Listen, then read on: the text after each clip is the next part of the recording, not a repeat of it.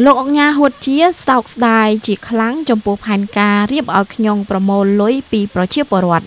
សាប៊ូកក់សក់និងក្រែមបន្ទន់សក់ Curie ឯកទេសព្យាបាលសក់ខូចធ្វើឲ្យសក់ទន់រលោងសរសៃសក់រឹងមាំជួយឲ្យសក់មានសំណើម Clinic វឌ្ឍនវិជ្ជាជា clinic ប្រចាំគ្រួសាររបស់លោកអ្នក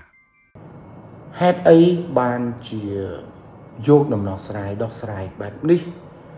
យកមកបោកទឹកចិត្តប្រជាជនជាច្រើនលោកអង្ញាហួតជាដែលជាម្ចាស់គ្រឿងសំណង់ដ៏ធំនៅប្រទេសកម្ពុជានិងជាបុគ្គលជោគជ័យម្នាក់ក្នុងមុខចំនួនវិស័យអចលនទ្រព្យបានសម្ដែងនឹងការសោកស្ដាយជាខ្លាំងចំពោះការរៀបចំផែនការឲ្យនាងខ្ញុំប្រមូលលុយពីប្រជាពលរដ្ឋលោកហួតជាបានបញ្ជាក់ថាលោកសោកស្ដាយនៅទឹកចិត្តរបស់បងប្អូនដែលខំវេលុយពីកាក់កន្លះ 3កាក់ឬក៏1000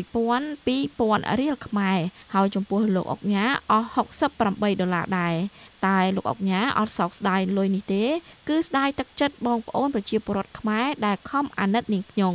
យោងតាមប្រសាសន៍របស់លោកអុកញ៉ាហួតជា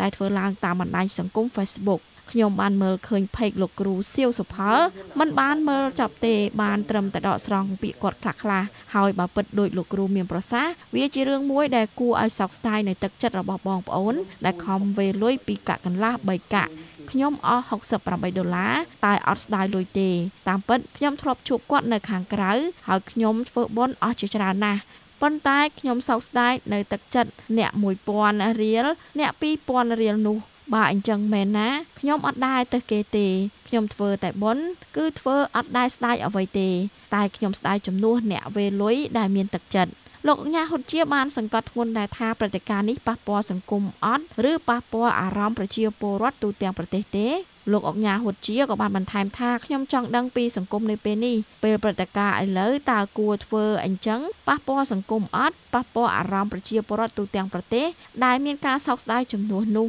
ពីព្រោះសទ្ធារបស់គេ តែបើរឿងនោះជាការប្រឌិតមួយ គឺជារឿងមួយគៀងកយកដំណោះស្រាយមកអញ្ចឹងខ្ញុំហួតជាក្នុងនាមអ្នកធ្វើបុណ្យម្នាក់ដែរខ្ញុំស្ដាយទឹកចិត្តដែលជួយអ្នកសម្ដែងខ្ញុំស្ដាប់ហើយត្រជាក់ចុងដៃចុងជើងហួសចិត្តខ្ញុំឮលោកគ្រូសៀវសុផលថាអ្នកនេះអ្នកនោះមានអ្នកចូលមើលរាប់ពាន់អ្នកដែលជាអ្នកសោកស្ដាយបានមកពីការរៀបចំគន្លឹះមួយដែលអាច ខ្ញុំអាចចេញពីបំណុលមែនហើយអ្នកដែលគ្រប់គ្រងគាត់ជួយជួយគាត់ម្នាក់1រៀលអ្នក100មាន500មានអ្នកមានអ្នកដែលលក់ម៉ូតូឲ្យគាត់